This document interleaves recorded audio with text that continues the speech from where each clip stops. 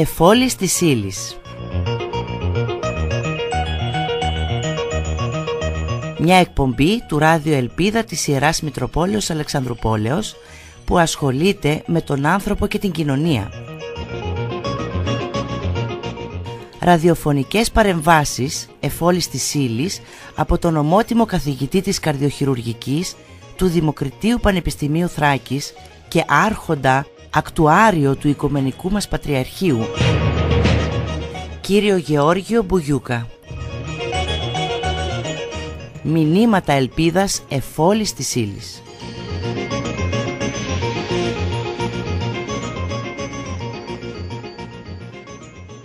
Αγαπητοί ακροατές χαίρετε.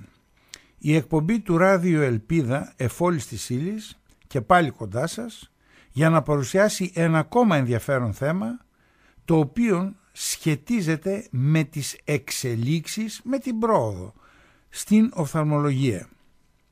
Σημερινός καλεσμένος μας είναι ο επίκουρος καθηγητής του Δημοκρατίου Πανεπιστημίου Θράκης, κύριος Γεώργιος Λαμπύρης. Ένας εξαίρετος συνάδελφος, ευγενής, εργατικός, πρόθυμος, με υψηλότατο επίπεδο γνώσεων στην ειδικότητά του, αλλά και ένας εκπληκτικός χειρουργός του οφθαλμού. Είχα την ευκαιρία, αλλά και την ευτυχία θα έλεγα, κατά τη θητεία μου στο νοσοκομείο μας, να συνεργαστώ αρκετές φορές μαζί του για θέματα που αφορούσαν την όραση διαφόρων ασθενών μας. Και τότε διαπίστωσα πραγματικά όλες τις αρετές του που προανέφερα, αλλά και το υψηλό, θα έλεγα το υψηλότατο επίπεδο γνώσεων. Αγαπητοί ακροατές, προτού αρχίσουμε τη συνέντευξη με τον προσκεκλημένο μας, θα ήθελα να αναφερθώ εν συντομία στο βιογραφικό του σημείωμα. Ο κύριος Λαμπύρης, αφού περάτωσε τις σπουδές στην ιατρική, έκανε μεταπτυχιακές σπουδές στην οφθαλμολογία στην Αμερική και το 2002 έλαβε τον μεταπτυχιακό τίτλο από το Πανεπιστήμιο της Καλιφόρνιας Σάντα Άνα στο Λος Άντζελες έλαβε τον τίτλο του διδάκτορος με άριστα από την Ιατρική Σχολή του Πανεπιστημίου Ιωαννίνων. Στη συνέχεια ακολούθησε ακαδημαϊκή καριέρα, διοριστής μετά από εκλογική διαδικασία ως λέκτορας στο Δημοκρίτιο Πανεπιστήμιο Θράκης, στο Πανεπιστήμιό μας, το 2008 και τέσσερα χρόνια αργότερα, το 2010, εξελίχθηκε στη βαθμίδα του επίκουρου καθηγητού. Κατά τη θητεία του στην Πανεπιστημιακή Οφθαλμολογική Κλινική του νοσοκομείου μας είχε την ευκαιρία να μετεκπαιδευτεί στο εξωτερικό και συγκεκριμένα σε ένα μεγάλο πανεπιστημιακό οφθαλμολογικό κέντρο της Γερμανίας σε διάφορα θέματα της σύγχρονης οφθαλμολογίας. Αναφέρω μερικά. Πρώτον, στις σύγχρονες μεθόδους μεταμόσχευσης του κερατοειδούς. Πολύ σημαντικό θέμα. Δεύτερον, στην διαθραστική χειρουργική, η οποία απασχολεί αρκετό κόσμο σήμερα. Καθώς και τρίτον, στη σύγχρονη οργάνωση και λειτουργία τράπεζας οφθαλμών συμπεριλαμβανομένης και της λήψης, επεξεργασίας και αποθήκευσης κερατικών μοσχευμάτων. Εδίδαξε μαθήματα οφθαλμολογίας στο Πανεπιστήμιο της Θεσσαλίας και στα ΤΕΗ Αθηνών και είχε αυτόνομο διδακτικό έργο και έχει στο Πανεπιστήμιό μας. Όσον αφορά το συγγραφικό του έργο είναι πλουσιότατο, είναι εκπληκτικό με 96 σήμερα δημοσιεύσεις σε διεθνή ιατρικά περιοδικά από τις οποίες μάλιστα ε, σε 56 είναι πρώτος συγγραφέας με ένα μεγάλο αριθμό δημοσιεύσεων επίσης σε ελληνικά περιοδικά και με μεγάλη συμμετοχή σε ελληνικά και διεθνή ιατρικά συνέδρια με ανακοινώσεις εργασιών και διαλέξεις. Κατά την άποψή μου αυτό το συγγραφικό έργο για τη βαθμίδα στην οποία βρίσκεται είναι μοναδικό και το τονίζω ότι είναι μοναδικό και πιστεύω να μην υπάρχει κάποιο άλλο που να μπορεί να το ανταγωνιστεί. στην Πανεπιστημιακή Οφθαλμολογική Κλινική του νοσοκομείου μας είναι υπεύθυνος του τμήματος κερατοειδούς και διαθλαστικής χειρουργικής ενώ είναι εκπληκτικές και οι τεχνικές που εφαρμόζει για την αντιμετώπιση της πρεσβειοποίας. Αγαπητέ κύριε Λαμπύρη, σε καλωσορίζουμε στο Ράδιο Ελπίδα και στην εκπομπή Εφόλης της ύλης και σε ευχαριστούμε για την αποδοχή της πρόσκλησης του σταθμού μας. Προσδοκούμε μέσα από το λόγο σου και τις τεράστιες επιστημονικές σου γνώσεις να αγγίξουμε τις πτυχές αυτού του τόσο επίκαιρου, του τόσο ενδιαφέροντος θέματος σχετικά με τις εξελίξεις στην οφθαλμολογία. Κύριε καθηγητά, σας ευχαριστώ για την τιμή που μου κάνατε να με καλέσατε. Νιώθω πολύ ευχάριστα να είμαι εδώ κοντά σας στο ραδιοφωνικό σταθμό της Μητρόπολης Αλεξανδρούπολης γιατί γνωρίζω το σημαντικό έργο ενημέρωσης που προσφέρει στην τοπική αλλά και στην ευρύτερη κοινότητα. Θα προσπαθήσω να απαντήσω στα ερωτήματά σας όσο πιο απλά και μεστά γίνεται προκειμένου να βοηθήσουμε τους ακροατές μας. Σας ευχαριστούμε κύριε καθηγητά για τα καλά σας λόγια και επιτρέψτε μου λοιπόν να σας θέσω το πρώτο μου ερώτημα. Λοιπόν, μια και το θέμα μας είναι η εξελίξη στην οφθαλμολογία.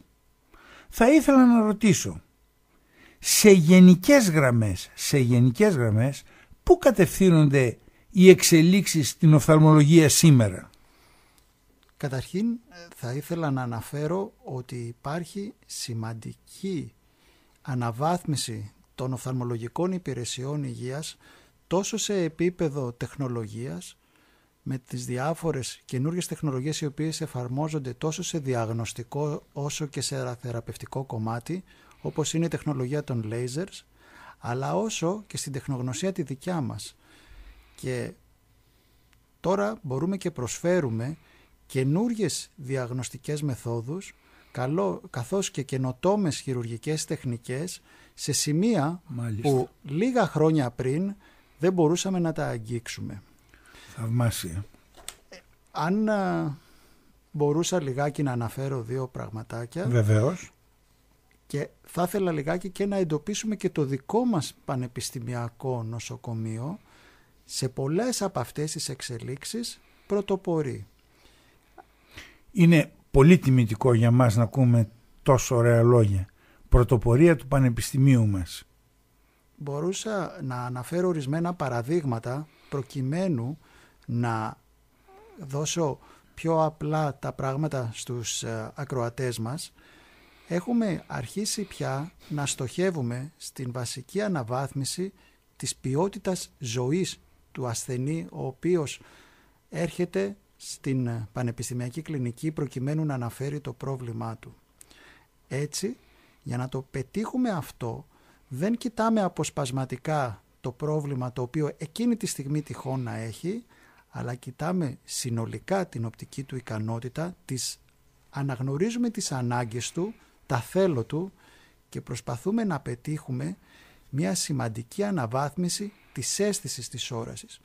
Όπως γνωρίζετε, η αίσθηση της όρασης είναι μία από τις πιο σημαντικές λειτουργίες, αισθητηριακές λειτουργίες του ανθρώπου. Δεν είναι τυχαίο που λέμε πρόσεχε κάποιον σαν τα μάτια σου. Οπότε προσπαθούμε και εμείς να δώσουμε όλα αυτά τα οπτικά εφόδια προκειμένου ο άνθρωπος να μπορέσει να ανταπεξέλθει σε όλους τους κοινωνικούς του ρόλους. Για παράδειγμα, στους επαγγελματικούς, τους προσωπικούς και σε όλες τις επιδιώξεις όποιες αυτές είναι. Μάλιστα. Κύριε καθηγητά, όλα όσα μας αναφέρετε είναι απόλυτα κατανοητά, όμως στη συνέχεια θα ήθελα να σας ρωτήσω, έχει αλλάξει ο τρόπος που αντιμετωπίζεται σήμερα ο οφθαλμολογικός ασθενής σε ένα νοσοκομείο, παραδείγματος χάρη στο δικό μας, ή ακόμα και σε ένα ιδιωτικό ιατρείο. Όπως καταλαβαίνουμε, προκειμένου να αναβαθμίσουμε συνολικά την οπτική ικανότητα του ατόμου, χρειάζεται να δούμε εξειδικευμένα κάθε πτυχή της οπτικής του λειτουργίας.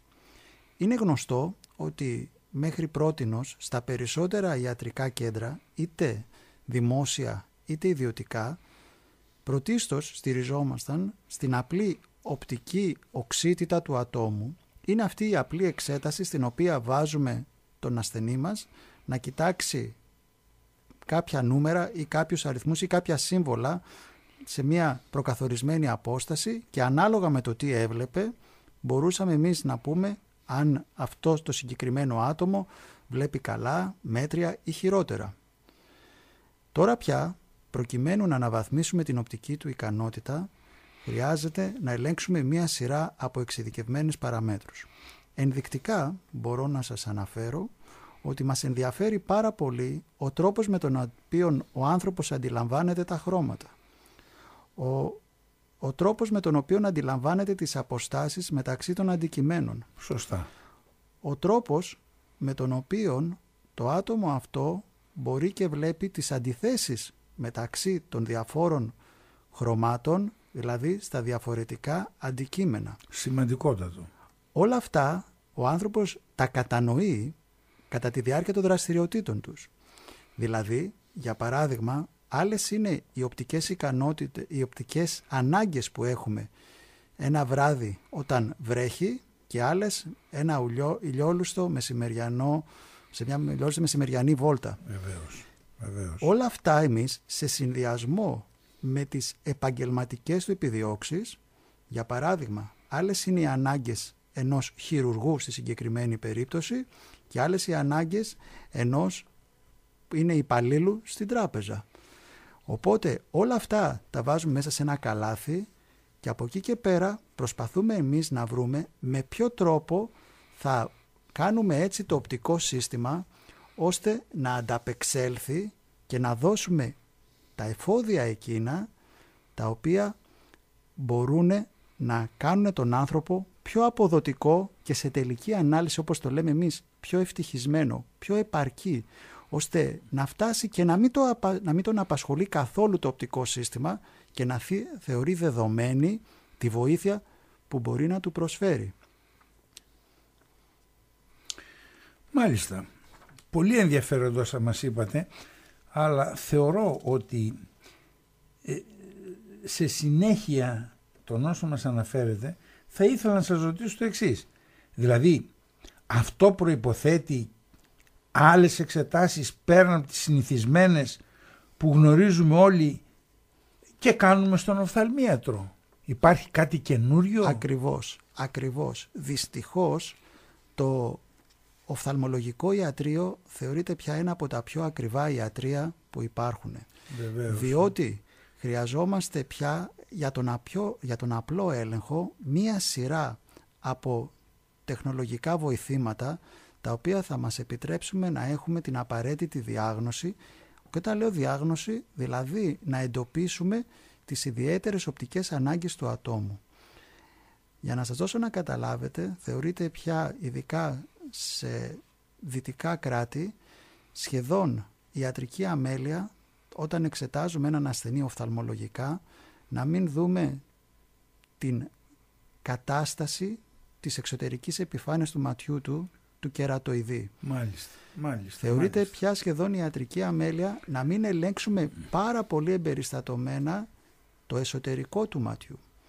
Όλα αυτά συνθέτουν μία εξειδικευμένη προσέγγιση, ακριβή δυστυχώς, ειδικά για τη χώρα μας που έχουμε προβλήματα στο να δώσουμε τον απαραίτητο εξοπλισμό στα, τουλάχιστον στα νοσοκομιακά μας ε, εξωτερικά ιατρία, αλλά ταυτόχρονα επιβάλλει και κάτι άλλο. Οι εξετάσεις αυτές είναι απαιτητικές όχι μόνο οικονομικά, αλλά είναι απαιτητικές και από την τεχνογνωσία την οποία χρειάζεται να έχει ο οφθαλμίατρος ώστε να, την, να τις ερμηνεύσει σωστά. Δηλαδή, και αυτό είναι ένα θέμα το οποίο προσπαθούμε εμείς να αντιμετωπίσουμε καθώς δίνουμε ειδικότητα στην πανεπιστημιακή κλινική, προσπαθούμε να εκπαιδεύσουμε έτσι τους νέους οφθαλμιάτρους ώστε πρωτίστως να ξέρουν ποιες εξετάσεις πρέπει να ζητήσουν ώστε σύγχρονα να αντιμετωπίσουν και να δώσουν τις απαραίτητες απαντήσεις στους πολίτες αλλά και επιπλέον εφόσον ξέρουν και πάρουν την εξέταση να μπορούν να τις ερμηνεύσουν σωστά. Πολύ ωραία.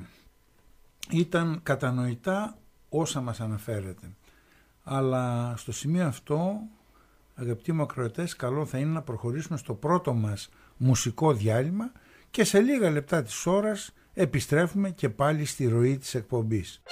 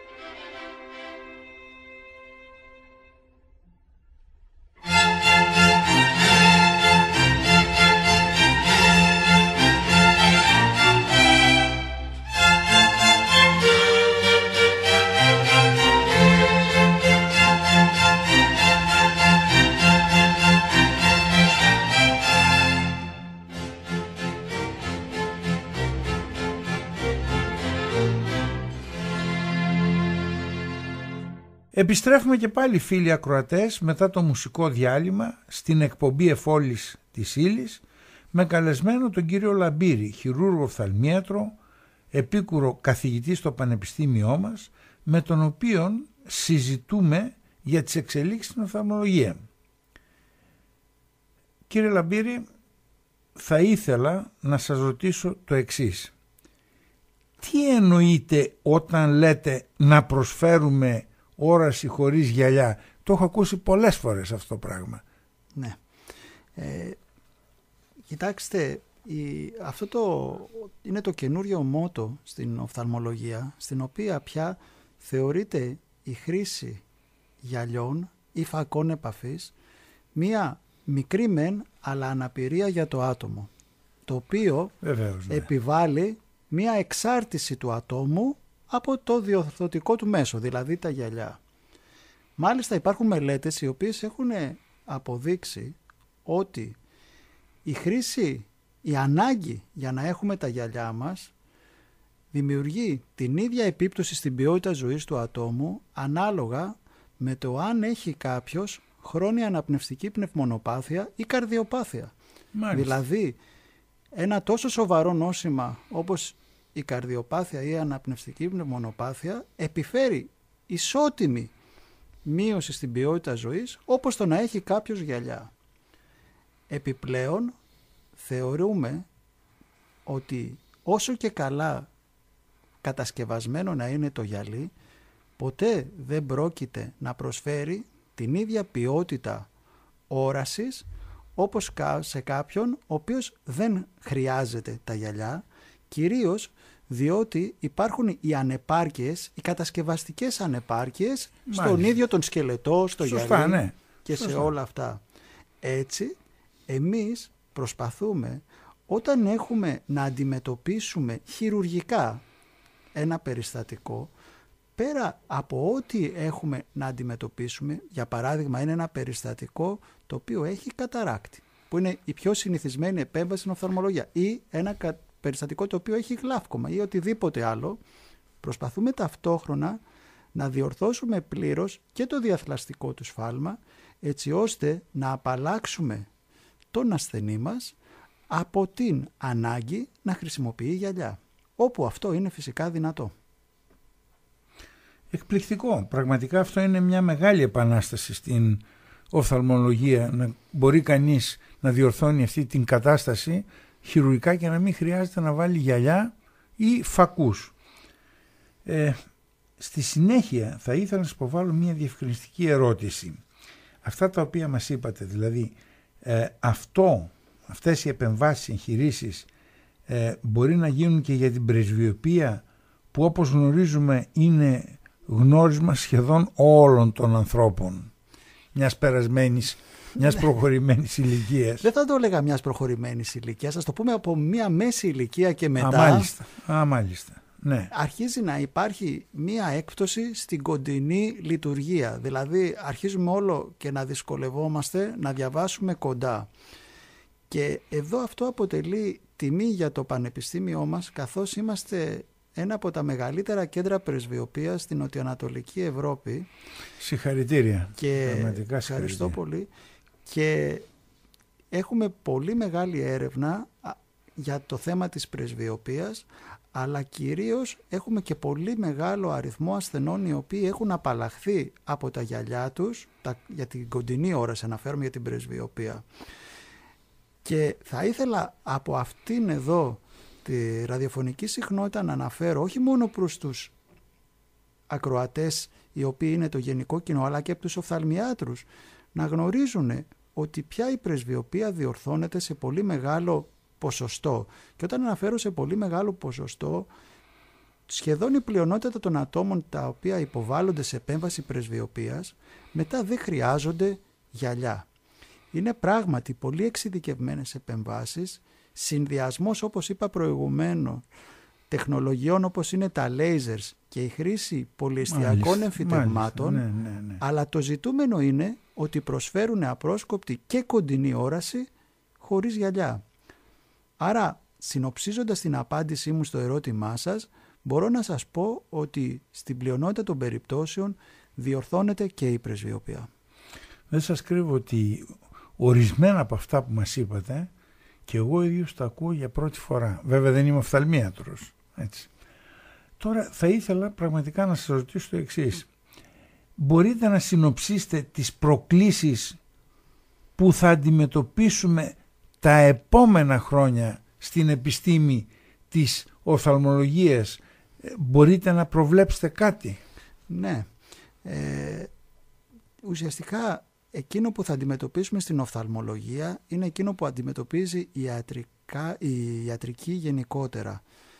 Δηλαδή έχουμε ως δεδομένο την γύρανση του πληθυσμού, την αύξηση του προσδόκιμου ζωής, οπότε εμφανίζονται παθήσεις οι οποίες συσχετίζονται με την αυξημένη ηλικία.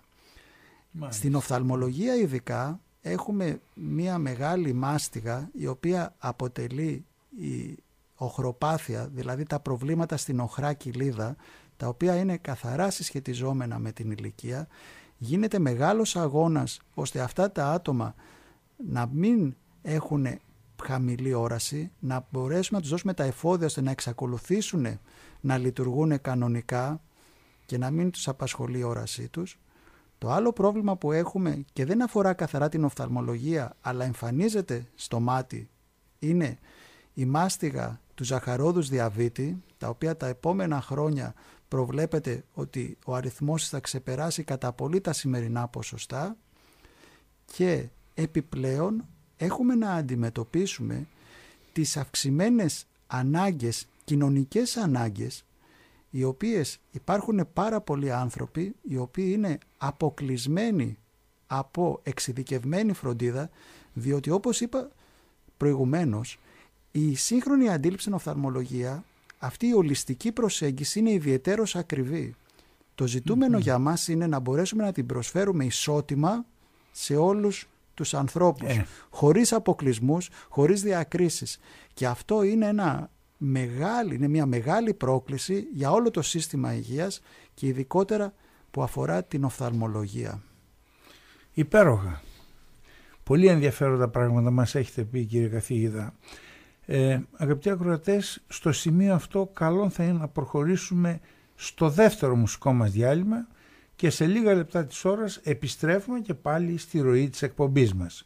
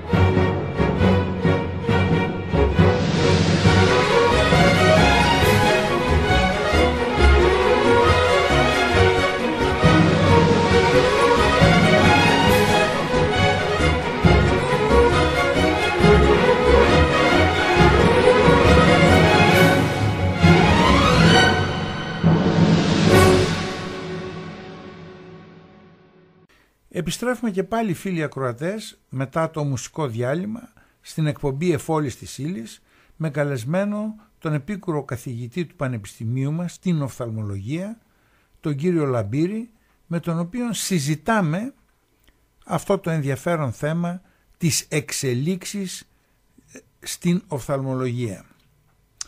Αγαπητέ μου συνάδελφε, αντιλαμβάνομαι ότι σας κούρασε η περιέργειά μου με τις συνεχείς ερωτήσεις μου για να μας πείτε όλα αυτά τα ενδιαφέροντα πράγματα. Αλλά επιτρέψτε μου σας παρακαλώ να σας υποβάλω την τελευταία μου ερώτηση και σας το υπόσχομαι ότι θα είναι η τελευταία ερώτηση. Αλίμονο, χαρά μου είναι να δέχομαι τις ερωτήσεις σας κύριε καθηγητά. Σας ευχαριστώ πολύ. Επομένως ήθελα να ρωτήσω εγώ το εξής. Τι θα προτείνατε σε ένα άτομο που πρόκειται να επισκεφτεί έναν οφθαλμίατρο. Ευχαριστώ για την ερώτηση, διότι αυτή συνοψίζει, πιστεύω, όλα τα προηγούμενα. Καταρχήν, γενικά, όπως και σε οποιοδήποτε γιατρό και στον οφθαλμίατρο, πρέπει ο οφθαλμίατρος που θα επιλέξει κάποιος να επισκεφθεί να είναι μια ενσυνείδητη απόφαση. Δηλαδή, να του εμπνέει την απαραίτητη εμπιστοσύνη ώστε να ακολουθήσει ό,τι οδηγίες του προτείνει. Το δεύτερο πιο σημαντικό όμως είναι να μην συμβιβάζεται με μέτριες λύσεις. Δηλαδή, ναι, ναι, είναι ναι. πολύ γνωστό και ειδικά στην οφθαλμολογία ότι υπάρχουν ηλικιακοί αποκλεισμοί, λέμε για παράδειγμα, κάποιος χρειάζεται να κάνει μία επέμβαση και λέμε μα τώρα είναι 70-75 χρονών, τι τη χρειάζεται σε αυτή την ηλικία; Αυτό υποδηλώνει μια συνολική παρέτηση από τη ζωή και εμείς ως οφθαλμίατροι δεν μπορούμε να τη δεχθούμε. Έτσι, όπως ανέφερα, η σύγχρονη ιατρική πρακτική στην οφθαλμολογία συνιστά να προσπαθήσεις να προσφέρεις το βέλτιστο οπτικό αποτέλεσμα. Και αυτό όμως πρέπει να το ζητάει και το ίδιο το άτομο. Δηλαδή, να γνωρίζει και ο οφθαλμίατρός του ότι κάθε λιγότερο από το καλύτερο δεν είναι ικανοποιητικό, δεν είναι αρκετό. Αυτό και θα προοδεύσει και θα δημιουργήσει στην πρόοδο της επιστήμης γενικότερα, στην πρόοδο του ίδιου του λειτουργού της υγείας, αλλά κυρίως θα προσφέρει στο ίδιο το άτομο το καλύτερο οπτικό αποτέλεσμα ώστε να μπορέσει να εξακολουθήσει να ανταπεξέρχεται με επάρκεια σε όλους τους κοινωνικούς του ρόλους. Μάλιστα. Ε, αγαπητέ κύριε Λαμπύρη, ένα μεγάλο ευχαριστώ για την παρουσία σας σήμερα στην εκκλησιαστική φωνή της Ιεράς Μητροπόλεως Αλεξανδρουπόλεως αλλά και για τα όσα ενδιαφέροντα μας είπατε για την οφθαλμολογία και τις εξελίξεις της στους διάφορους τομείς της. Σας εύχομαι να είστε πάντα γερός και να συνεχίσετε τις δραστηριότητές σας επιστημονικές, διδακτικές, ερευνητικές και χειρουργικές να τις συνεχίσετε με το ίδιο πάθος που δείξατε μέχρι σήμερα. Η προσφορά σας στην τοπική κοινωνία μας είναι ανεκτήμητη.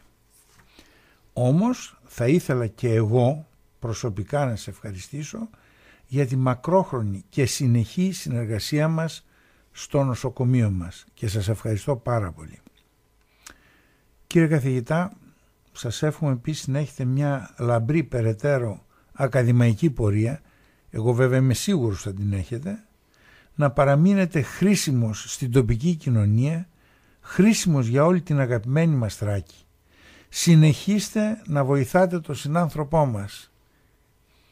Τέλος, εύχομαι κάθε ευτυχία στην ευλογημένη σας οικογένεια. Σας ευχαριστούμε πάρα πάρα πολύ.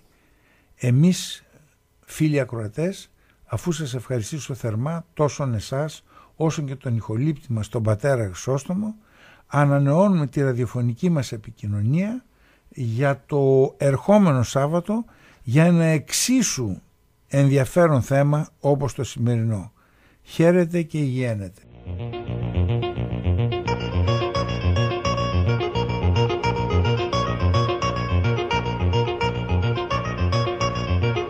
Εφόλης της ύλης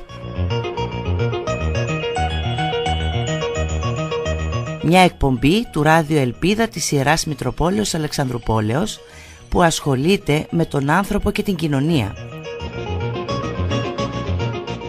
ραδιοφωνικές παρεμβάσεις εφόλης της ύλης από τον ομότιμο καθηγητή της καρδιοχειρουργικής του Δημοκριτίου Πανεπιστημίου Θράκης και άρχοντα ακτουάριο του Οικομενικού μας Πατριαρχείου, κύριο Γεώργιο Μπουγιούκα.